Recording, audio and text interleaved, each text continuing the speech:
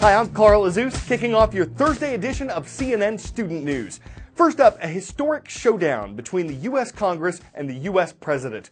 Earlier this month, the House and Senate passed a controversial bill. Its goal was to allow the families of terrorism victims to sue the government of Saudi Arabia. Why? The Middle Eastern country has been accused of helping the terrorist group that conducted the September 11, 2001 attacks. 15 of the terrorists were from Saudi Arabia. The Saudi government has denied having any role in the attacks.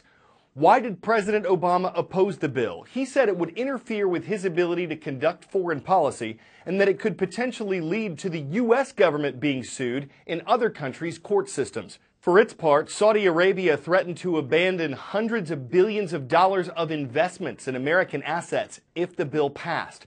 Why did U.S. lawmakers support the bill? They felt the families of 9 11 victims deserved to have their day in court against Saudi Arabia. One attorney in the suit suggested that if the Saudi government was innocent, it wouldn't have to be afraid of the lawsuits. So, what happened with the bill? President Obama vetoed it last week, but yesterday afternoon, Congress overrode that veto. It was the first time that's happened since President Obama took office.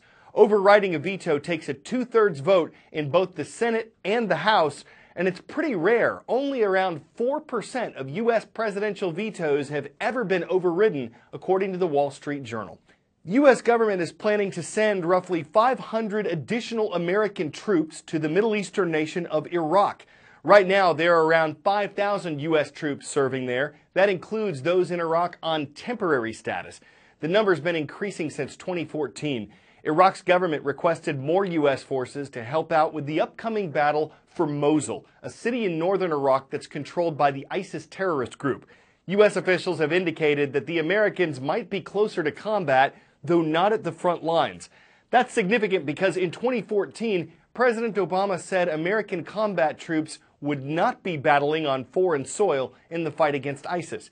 U.S. officials expect this will be the last increase of American military troops in Iraq but the nation will likely remain a challenge for America.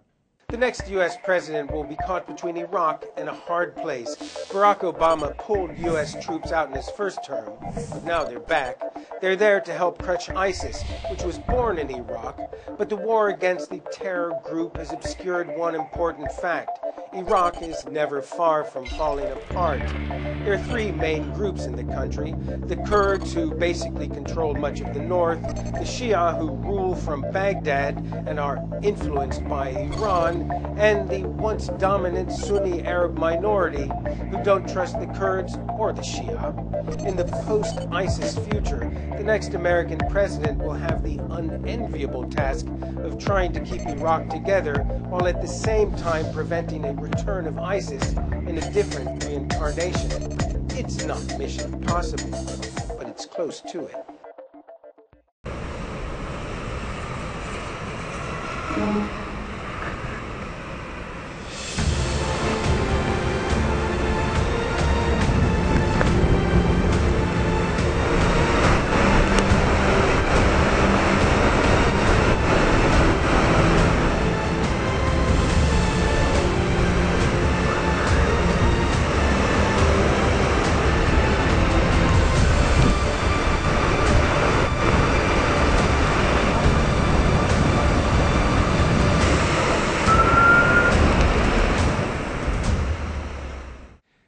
the Midwestern U.S. state of Iowa, the National Weather Service has extended flood warnings to Sunday in the city of Cedar Rapids. Thousands had to evacuate after more than 10 inches of rain fell in eastern Iowa and western Wisconsin last week. Over the weekend, city workers, contractors, volunteers, and National Guard troops banded together. They built temporary walls, levees, and laid down 250,000 sandbags, and it looks like it all worked. The city manager says the efforts appeared to protect the city of Cedar Rapids from serious flooding. The major concern was the Cedar River and how high it would rise. It crested at just over 22 feet, and that is six feet above what's considered major flood stage. So what's the difference between river flooding and flash flooding? You can see these different categories. So up here in the purple, that's major flood stage. And then of course in this orange, that is minor flood stage. So you take the first one. This is a flash flood event. And you can see how steep this spike is. It's basically flat. And then in a matter of hours, boom, peaks and then it drops off rather quickly as well. Another instance, you may have two thunderstorms, so you have a small peak and then you have a big peak. But the point is, it happens extremely quickly. The difference in river flooding is it is a very gradual process. The river will rise, sometimes taking days and then gradually falling. That's a river flood. Here's another example, even more dramatic, and you can see the slow rise and then the slow fall. The head of SpaceX, a space exploration company, is laying out a plan for humans to colonize Mars, the planet. And Elon Musk says this could happen in 50 to 150 years, though he wants to get it started, sending the first humans to Mars in the year 2024. I think there are two main motivations for, for Mars. I mean, one, is, is the sort of defensive reason of saying, okay, if, if something were to happen to, to Earth, do, is, is life as we know it, does it end? Uh, or if it's on another planet, then it probably doesn't end. A multi-planet civilization is likely to last a lot longer than a single planet civilization. The other part of it is it would just be an incredible adventure. Yeah. And it would be very exciting. Um, and even if somebody never planned to go to Mars, just following the progress, I think, would vicariously would be um, quite inspiring. But at the moment, quite expensive. Musk says it cost about $10 billion to get someone there with today's technology.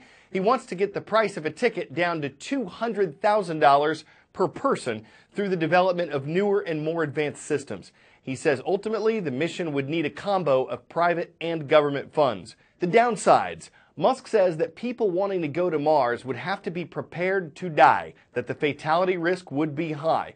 Also, SpaceX is currently dealing with setbacks like the explosion of one of its rockets on a launch pad earlier this month. But the company, like the U.S. government, is working to send people far beyond the moon. If technologically it becomes possible to colonize other worlds, do you think our bodies and our brains could handle it? Definitely, our brains could handle it probably the biggest uh, impediment to just going there is the cost. I mean, I think we can overcome the, the challenges if we could overcome the financial requirements. Who knows what the resources are on Mars, but I think there are advantages, assuming you could do it, to having a, uh, another livable planet. NASA believes in redundant systems, and Earth is a system, so if at some point in our future it became feasible to maybe make Mars somewhat like Earth, then it would be uh, there would be a lot of value to that. But there's also value in just exploring for exploration's sake. I mean, we're explorers, and I think doing stuff that is really, uh, really complicated, really difficult, that challenges us, also adds, um, you know, to our to our economy, and you know, makes uh, our lives better right here on Earth. Do you think that Elon Musk setting up his own Mars architecture that that compromises the government's ambitions in any way, shape, or form? Not at all. And uh, you know, I would hope that NASA would uh, even partner with him in some respects. Uh, you know, having competition in everything always helps too. If we looked at it like you know someone's trying to get there first, that would be helpful too. Would you go to Mars? Yes. You would go to Mars. Yes. For but how I, long though? Um, I, I would go on the three-year trip where you come home were you ever counting down the days when you were spending that year in space? I um, tried to count up.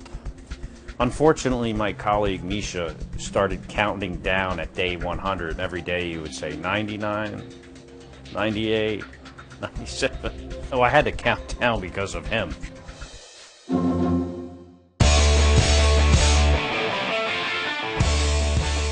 Before we go, a British prince totally disrespecting a Canadian prime minister. A few well-known members of Britain's royal family are spending the week in Canada. They arrived Saturday. Three-year-old Prince George was among them. But when Canada's leader knelt down to offer a high five, little prince just shook his head. No high five, no low five, not even a handshake, nothing. Guess the young royal just thought he'd keep his hands to himself. Does he deserve a hand? Does he need a hand learning etiquette? You could call it a royal snub or a princely put down, or say the whole situation got out of hand, but in this case, it seems it's the Briton who's declaring independence. I'm Carl Azuz for CNN Student News.